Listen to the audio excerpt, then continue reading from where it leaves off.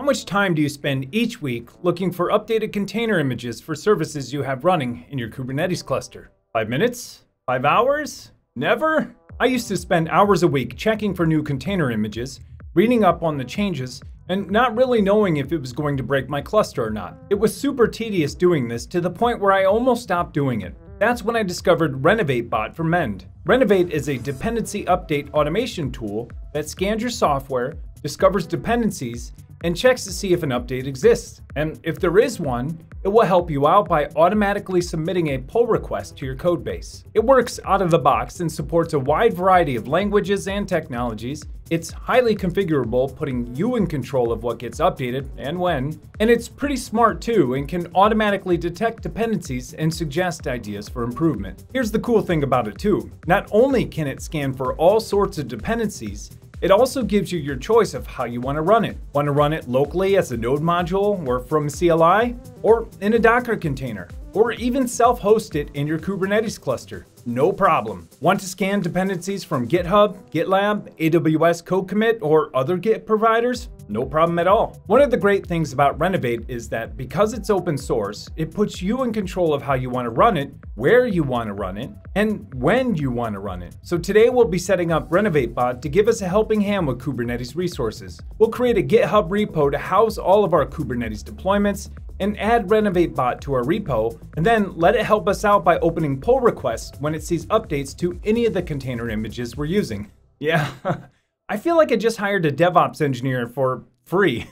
Speaking of getting some help from automation, you should definitely check out today's sponsor, Datree. Are the services running in your Kubernetes cluster highly available? Are they configured according to EKS security best practices? Has it been hardened according to the NSA's hardening guide? These are all questions you might be asking yourself if you're running Kubernetes, but how do you know if you're following these recommendations? That's where Datree can help. Datree is a powerful Kubernetes policy management tool that can secure your Kubernetes cluster by blocking configurations that do not meet your policy. I say your policy because it's a policy that's centrally managed by your team and can be customized to suit your needs. Or you can inherit one of the many best practices guides that are pre-configured. It works by creating an admission webhook that ensures that nothing can be deployed to your cluster unless it meets your configured policy. And you can review and make changes to your policy using their dashboard. From here, you can analyze all of your policy violations, see the results of the last cluster scan, make policy changes, and even see your cluster posture score. You can even run different policies for different clusters,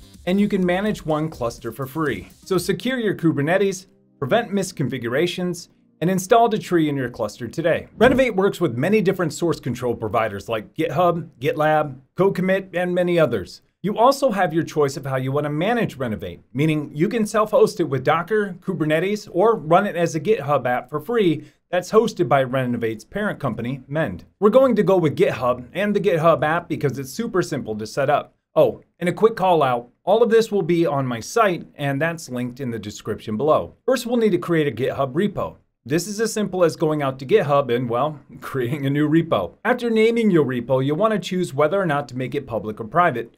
The choice is up to you and Renovate will work either way. After creating the new repo, you'll want to clone it to your machine. Now, I know that it's empty, but we'll be adding some things here shortly. After cloning it, I'm going to open it up with VS Code, but any editor will do. Now that our repo is cloned, we're going to add some Kubernetes resources to it so that Renovate can start analyzing our resources for updates. We're going to create a simple Nginx deployment and a service. For this deployment, we're going to use an older Nginx container image tag because we want to see RenovateBot actually work. So we'll go out to Docker Hub and choose an older tag. We'll then put that image tag in our deployment. Let's commit this code and push it up. Now that we have a simple Kubernetes deployment committed to our repo, we should add the RenovateBot to start analyzing our code. We can do this by going out to GitHub, finding the Renovate app, and installing it in our repo. You'll need to authorize this app for your repo or for your org. Once you've authorized this app, you can choose which repos it has access to and you're all set. If you ever decide to change your mind and remove this app from your repo, you can go to the repo settings and remove this app at any time. Once RenovateBot is authorized and installed, it won't actually do anything until you merge a pull request that'll be opened by the bot on a repo. This pull request is a special onboarding request that will show you what the bot has actually detected, along with adding the default config for the bot. Renovate won't make any further changes until you accept and merge this pull request. Once you've reviewed this PR, you can merge it and it will activate the bot on your repo. After merging this onboarding PR, we can go out and take a look at the logs for the bot on Mend's bot page. Here we can see that it's trying to auto-detect all the various dependencies that the bot supports. It's checking for Ansible, Docker Compose, Flux, Gradle, Helm, and many other dependencies. But it doesn't know how to handle Kubernetes files out of the box because Kubernetes files don't really have a naming convention because there really isn't one. So we'll need to tell Renovate how to check for these Kubernetes files in our config. So we'll need to git pull to get the latest, and we should see our Renovate config file. We'll need to add a file match property for Kubernetes files. You want to be sure that you use the right extension here, whether that be YML or YAML. Both are acceptable, but I typically use YML for YAML.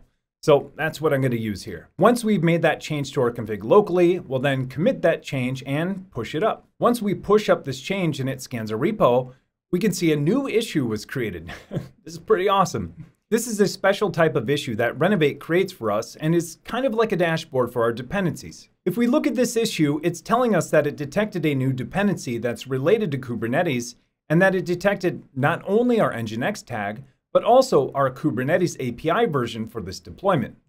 Super awesome. If you like, you can choose to disable this dashboard issue in your config, but I would recommend keeping it. It doesn't hurt, only helps. If we look at the logs from Renovate, we can also see that it detected our Nginx deployment and that it created a PR for us to review.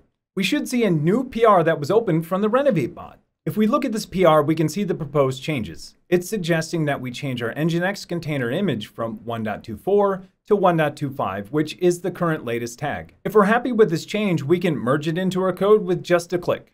Awesome. So now our code base is up to date with the latest container image. But what happens if a container you're using only has one tag? Say like the latest tag. Well, let's find out. Let's say for instance, we're running WordPress in our cluster and we create a deployment YAML and in our deployment YAML, we specify the latest tag versus a version tag and we commit this code and push it up. Now we can wait for Renovate to check a repository again for new dependencies, or we can manually trigger one by going back to the dependency dashboard issue and checking this checkbox to trigger it to run again. Now, if we look at the logs again, we should see that it detected WordPress. However, it's unversioned. The latest tag is non-deterministic, meaning that it's not deterministic. or simply put, it can mean more than one thing. Renovate can't use this because it can't determine what the current version is and what the next possible version is. So instead of pinning this version to latest, we can actually pin it to the digest. So if we look at our current latest tag in Docker Hub and inspect the digest, we can see it here. It's this long string of characters. The digest is an immutable identifier for a container image, and it is deterministic, meaning that it can't be changed and it only references one image. We can use that for Renovate. So once we have that, we can pin our WordPress container to the digest by using it like this. It's container image at SHA colon and then the digest. Now, if we make this change and commit and push this up, we are now pinned to the digest, which is also the same as latest.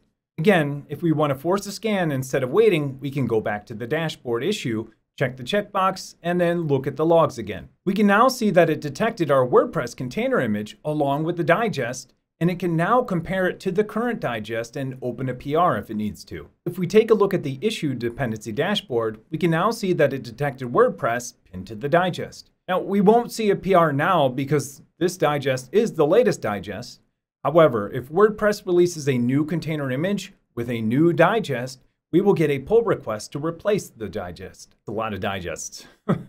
making me hungry. Awesome. So that solves the latest problem. We have ways to work with Kubernetes manifests, whether they are pinned to a version tag or an unversion tag. But what about Helm charts? Well, Helm charts are just as easy. Let's say we wanted to source control our MySQL Helm deployment. All we have to do is create our Helm values file and include the version as well as the repository. Now, if you don't specify a repository, it will default to Docker Hub. But as you can see here, I'm getting this Helm chart from Bitnami. After we commit and push this up, we should see a new dependency type of Helm. And since it detected an update, we should also see a pull request to update the file. Pretty awesome. Pretty awesome. So now with the Renovate bot, we can keep track and upgrade our Kubernetes deployments and even Helm charts. And I bet you're wondering how we can deploy them. Well, there are quite a few ways to deploy these resources using GitOps tools like Flux or Argo CD, or even just a simple plain CI task that runs kube control or Helm. I have a few videos on this topic, so I won't dive into it here. But what about Docker deployments? Well, if you're interested on how to automate deployments with Docker and Renovate, let me know in the comments below. Well, I learned a ton about Renovate Bot, how to add it to our Git repository, and how to automate pull requests when there are updates available. And I hope you learned something too. And remember, if you found anything in this video helpful, don't forget to like and subscribe. Thanks for watching.